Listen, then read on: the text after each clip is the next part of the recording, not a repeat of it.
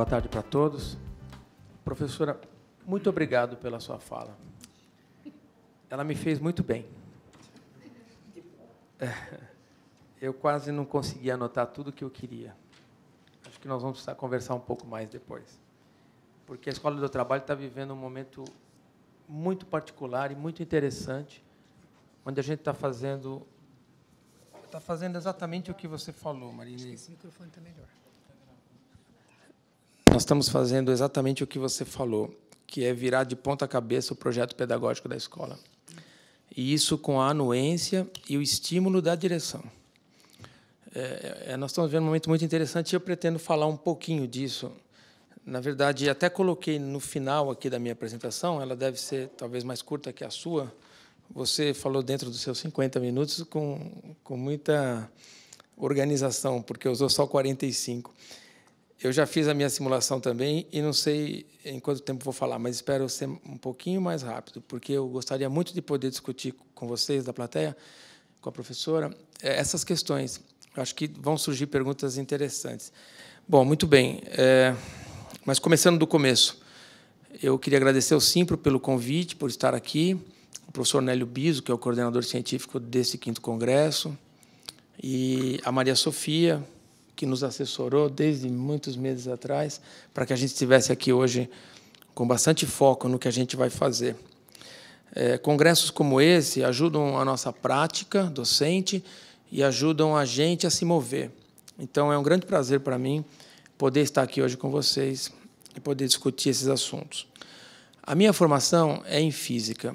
Eu me licenciei em 93 pelo Instituto de Física da USP, depois de passar 10 anos lá. É, nesse meio tempo, eu fiz outras coisas. Uma delas é que eu estudei engenharia elétrica na Poli. Foi um tempo muito interessante, porque eu ainda estava esperando as escolhas me escolherem, até que elas fizeram isso. Uh, eu tenho um probleminha com meus óculos, porque eu ainda não enxergo bem de perto nem de longe ao mesmo tempo, é, então eu preciso fazer isso aqui. Bom, eu leciono há 28 anos. Desses 28, é, eu, por, nesses 28 anos, passei por várias escolas, públicas e privadas. Mas no Colégio Santa Cruz eu estou há praticamente 25 anos. Então, apesar de ter dado aula em várias escolas, eu comecei muito cedo no Santa Cruz e estou lá nos últimos 25 anos, dando aulas de física. Isso é basicamente o que eu faço. É, eu trabalho numa escola onde estudar é uma coisa muito comum. E aí eu me refiro mais aos professores do que só aos alunos. Os alunos, obviamente, fazem isso, mas nós, professores, estudamos muito.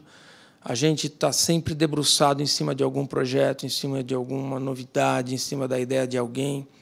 E nós temos muita liberdade para isso. Então, eu acho que nós temos uma boa parte das condições que você cita como necessárias para que a interdisciplinaridade possa ocorrer num projeto pedagógico consistente. É, muito bem. Eu tirei isso aqui do site do Simpro, né? de que a ideia dessa mesa redonda era propiciar esse diálogo entre a academia e a educação desenvolvida em sala de aula. E é por isso que nós estamos aqui hoje, né? eu e a professora Marinês, fazendo esses papéis. Então, a minha fala vai ser muito mais voltada à prática de sala de aula, o que a gente vem fazendo, onde a gente vem conseguindo avanços e onde a gente vem batendo cabeça. Eu me reconheci em muitas das coisas que você falou e isso é muito bom é muito interessante. Uh, eu comecei colhendo algumas palavras de professores da minha escola sobre integração curricular. Apesar de nós termos experiências interessantes em curso, a gente também não sai do lugar comum quando a gente tem uma conversa informal com os professores. E o que aparece é isso, né? Aqui a integração é menos de conteúdo e mais de ações de série, o que é verdade. Nós temos as três séries do ensino médio com conselhos de classe muito fortes. E nós temos projetos é, comuns muito interessantes, que eu ousaria chamar de projetos, como você citou. Projetos que mudam o horário regular das aulas, é, criam condições que normalmente não existiriam se a gente tivesse só no andamento do cotidiano. Então, nós realmente somos mais fortes hoje em ações de série a área de ciências da natureza precisa de mais contato. É uma outra coisa que a gente ouve bastante. E o engraçado é que há pelo menos três anos a escola já propicia a nós um contato frequente, praticamente mensal, entre todos os professores da, da área de ciências, do terceiro primário até o terceiro ano do ensino médio. Nós somos aproximadamente 20 ou 21 professores e a gente senta juntos para rever o plano de ciências da escola, para pensar em novas possibilidades, redistribuição de conteúdo, nossa própria pedagogia, é, se as coisas estão funcionando ou não, se há repetições, que conteúdos a gente quer fazer em espiral ou não, enfim, tudo isso que concerne ao trabalho do docente. E, no entanto, isso continua aparecendo como uma necessidade. É, falam também que integração curricular depende do professor que vai atrás e é preciso tempo de reunião. Eu concordo com isso. Depende muito do professor que vai atrás. É necessário provocar os professores, senão nada acontece. É, são coisas que eu ouvi, não é? Então eu começo com essas frases.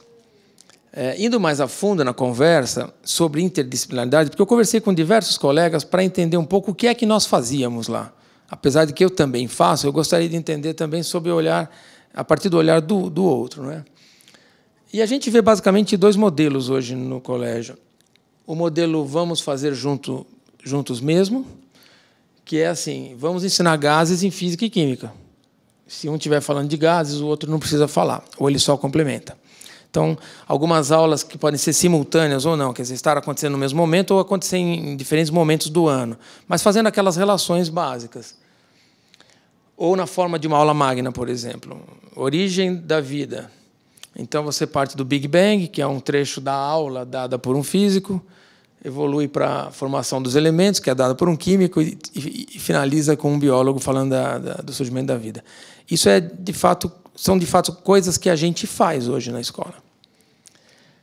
O segundo modelo que eu vejo de integração curricular em curso hoje, e que se pode ver bastante na escola, é fazer menção ao trabalho do outro. Então, ah, tá, tá vendo isso aqui que vocês estão vendo, máquinas térmicas? Isso aqui conversa com os gases em química. Né? Então, fazer menção ao trabalho do outro é fácil.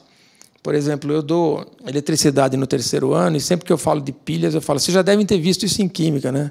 Ainda não viram? Vocês vão ver. Né?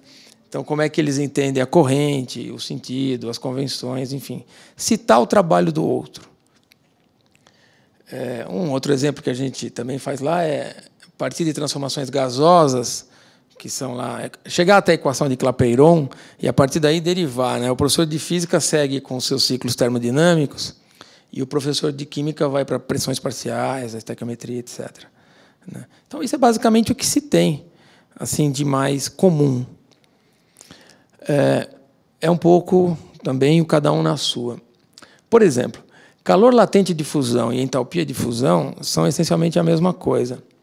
O físico chama o calor de fusão da água de 80 calorias por grama e o químico multiplica isso pela massa molar e chama de, de, de não sei quando dá aquela conta, eu não fiz a conta, desculpem, é calorias por mol. Então, o físico pergunta para os meninos o que acontece com este copo de água, com esta massa, enquanto o químico pergunta o que acontece com a água, com a substância.